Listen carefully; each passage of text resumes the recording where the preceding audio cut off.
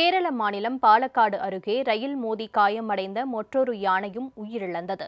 பாலக்காடு மாவட்டம் கஞ்சிக்கோடு கொட்டமுட்டியில் கடந்த பதினான்காம் தேதி அதிகாலை மூன்றே முக்கால் மணியளவில் காட்டு யானைகள் ரயில் பாதையை கடக்க முயன்றன. அப்போது கோவையை நோக்கி சென்று கொண்டிருந்த எக்ஸ்பிரஸ் ரயில் மோதியதில் பெண் யானை சம்பவ இடத்தில் உயிரிழந்தது. காயமடைந்த மற்றொரு யானை வனத்திற்குள் ஓடிச் சென்றது. வனத்துறையினர் தேடுதல் வேட்டை நடத்திய நிலையில் கஞ்சிக்கோடு நடப்பதி ஆற்றின் அருகே அந்த யானை உடல் காணப்பட்டது. இறந்த பெண் யானைக்கு இருபது வயது என தெரிவித்த வாளையாறு வனத்துறையினர் யானை உடலை மீட்டு அங்கேயே அடக்கம் செய்தனர்.